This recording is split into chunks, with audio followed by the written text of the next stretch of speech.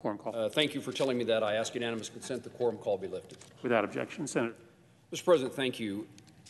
Today uh, is an opportunity for me to remind our colleagues of the value of Senator Johnny Isakson. I particularly want to speak this afternoon about his work in regard to our nation's veterans.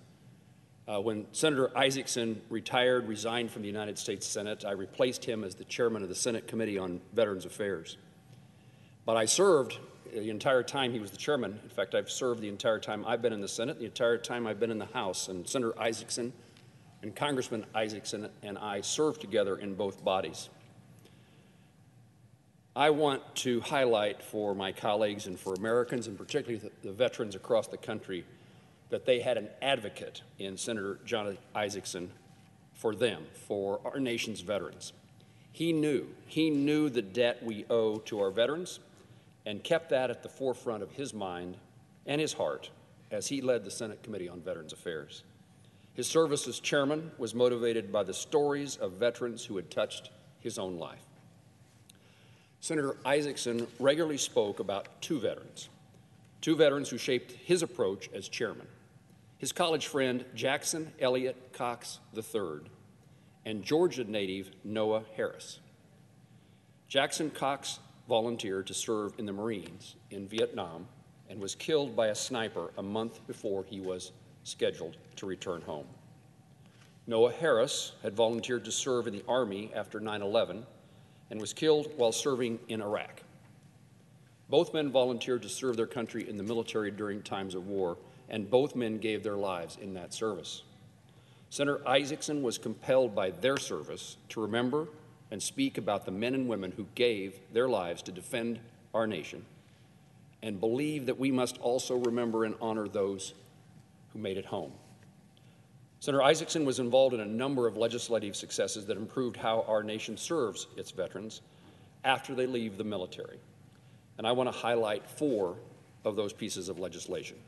First, the Veterans Affairs Accountability and Whistleblower Protection Act finally gave the VA the tools it needed to hold officials accountable following several scandals at the department and set the expectation that the VA would maintain a high performance workforce to serve our veterans.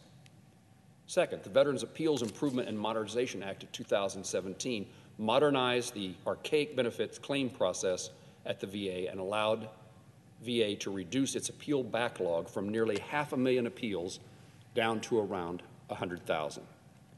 Veterans now have choices as to how they appeal benefit decisions and can receive timely decisions rather than waiting and waiting and waiting.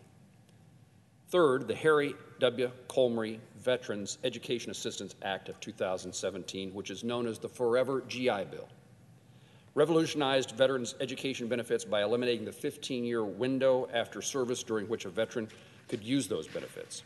It also invested in STEM education, IT and technology certification programs, and benefits for, for surviving families of veterans. And finally, the VA Mission Act is legislation I'm proud to have championed alongside Senator Isakson. He knew that temporary programs put in place to address the Phoenix wait time scandal needed to be consolidated with existing options for care outside the VA and I was honored to help him and the rest of Congress see the Mission Act signed into law to give veterans clear choices on getting the care that, they best, that best serves their needs. Senator Isakson also felt a strong connection to veterans of the greatest generation who saved the world in World War II. On a visit in Europe, Senator Isakson came across a grave, the grave of Roy C. Irwin, who was killed in the Battle of the Bulge on the very same day that Senator Isakson was born in Georgia. He spoke regularly about the perspective that visit gave him and how he thought about what Roy Irwin and so many others who served had done for him and for all of us.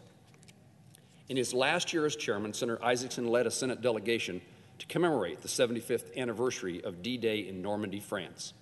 Despite the challenges his health may have posed for such a trip, he knew the importance of showing our World War II veterans, and in fact the entire world, that we remember their sacrifices and that as a nation we honor the service of the, that generation and the example they set for generations to come.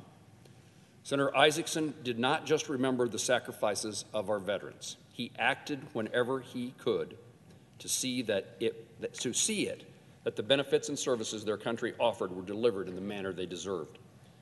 Before Army Lieutenant Noah Harris was killed in 2005, he and Senator Isakson exchanged letters, and Senator, Senator Isakson noted how Noah would always sign his letters IDWIC, which stood for I do what I can.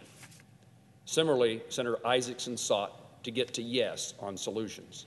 Instead of just focusing on problems or Senate differences or people's differences, he always worked to do everything he could when someone needed help, and his service to veterans will shine as an example for others, for us to emulate. We will remember Senator Isakson and the impact he had on our nation's veterans, and that will be remembered for generations. Senator Isakson served six years in the House and 14 years in the Senate. He died December the 19th at age 76. Over two decades of service, and certainly over two decades of service to Americans' veterans. Mr. President, I want to extend my condolences to Senator Isakson's wife, Diane, and his children, Julie, Kevin, and John. Please know that we are thinking of you all and are praying for you during this challenging and difficult time. May God bless that family, and may Johnny Isakson rest in peace. Thank you, Mr. President. And I know